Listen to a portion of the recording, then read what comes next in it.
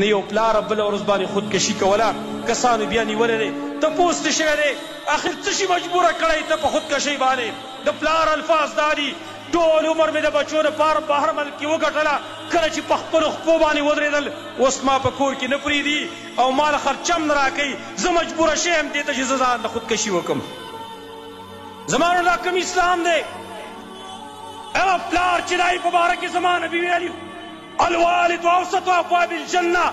پلار خو د جنت مینځنۍ دروازه ده، فان شئت فحافظ علیها، که ستا خوښه وي د دې حفاظت وکړه، وان شئت فضیعها، او که ستا خوښه وي ضایع کړه.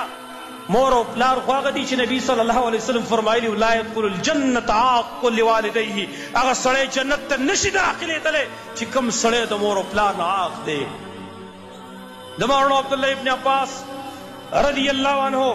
هغه ته یو پیر یو هلک راغی ورته ویې ویل ما یو جینۍ د هغې تپوس کړی و چې ما لې په نکاح راکوي جینۍ مې انکار کاوه د هغې خاندان هم انکار وکړ چې موږ یې تاله په نکاح نه درکوو هغې بل چا سره نکاح وکړه زه په جوش او جذبه کې رالم هغه جینۍ ما قتل کړه نو ایا زما لپاره اوس څه توبه شته دی عبدالله ابن عباس ورته وایي ستا مور شته دی هغه ورته ویل زما مور خو وفات شوې ده ویل به زه استغفار او توبه وغواړم ویل زه په مخه باندې چا تر اوسه تپوس وکړو ویل صیب تا ولې دننه مور تپوس وکړو هغه ورته فرمایي وایي ده دسې غټ جرم کړی دی چې ماته د دې په مقابل کې بله غټه نیکي نه وه معلومه سوا د دې نه چې د مور خدمت یې کړی وی لیکن نن زه هلکان د مغرب نه متاثره او د مغرب د تعلیم نه چې د هغوی تعلیم په دوی باندې د دوی په ذهن باندې دومره غالب شوی دی چې مور ورته مور نه ښکاره کېږي، پلار ورته پلار نه ښکاره کېږي. نبي صلی الله علیه وسلم خو ځکه فرمایلي وو جبریل ورته راغی او جبریل علیه السلام والسلام نبی صلی الله علیه وسلم په خوا کې دعا کوي هغه بی امین وایی د ممبر په هر پاټ کی چی خپک دی امین هغه وایی دری پاټ کو بانی هغه خپی کیښو دی امین یی وی صحابو ته وایی جبریل وس راغی ماته یی ویل چی هغه سړی دی هلاک شی چی کوم سړی ستا نوم واوری او په تا بانی درود ونه وایی دا سړی دی هلاک شی ما ویل چی امین بیا یی ویل چی هغه سړی دی الله هلاک کی چی کوم سړی باندی رمضان میاشت راشی رمضان میاشت تیره شی او دمغفرت نصیب نشی دا سړی دی هلاک شی ما ویل امین دریم هغه کس چی د هغه په ژوند کی مور او پلار دواړه یا یو بوډاوالی ته ورسیږی د هغی په وجه دی جنت ته داخل نشی دا سړی دی الله هلاک کی. جبريل عليه السلام ښېرې کوي، دعا آمين پې نبي صلی الله عليه وسلم وايي چې آمين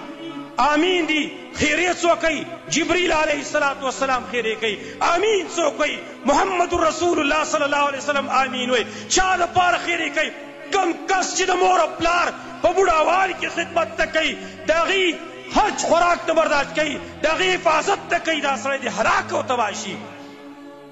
نن زموږ معاشره دې حد ته ورسېدله چې پلار او مور دا به د کور نه ایستله کېږي شرم پکار دی دغه زویله ستا په دغه تعلیم دې لعنت شي ستا په دغه عقل دې لعنت شي چې ته خپل پلار دومره لوی کلی وې پلار به چې کله د کور نه ووت نو ته به یې د ګوتې نه ونیولې یا به